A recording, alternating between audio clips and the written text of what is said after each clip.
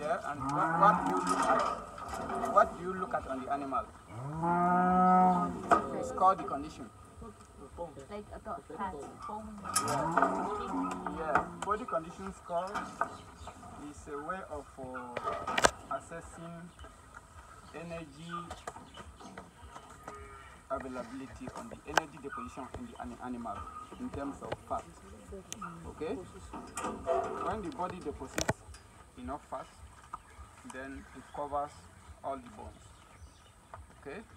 So when you are uh, scoring the body condition of an animal, the major bones you look at are the bones at the back. Okay? Then the pin, this is the pin here, the pin bone. Oh, Pin, the pin the two bones here. Some animals they become very prominent when the animal is in such condition. Okay? And then the the head of the tail. Okay, this uh, the, the, this bone here, this is the head of the tail. Okay. Then you look at the hook. The hook bones are here. They become also pointed. Okay.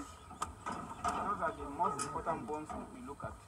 When you see an animal with these bones just appearing without you touching the animal, that's why I was trying to see uh, the other calf.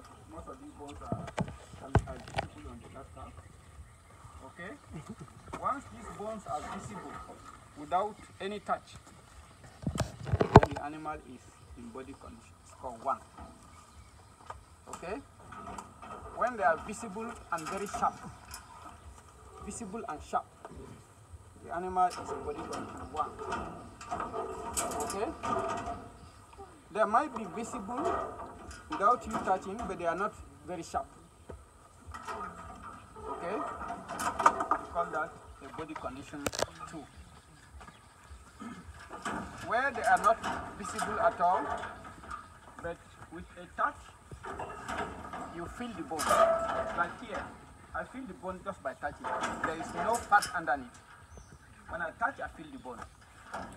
You can say that this animal is body condition three. Is that clear? So the rib bone, see the rib bone, see them? They are not visible as well, but once you touch,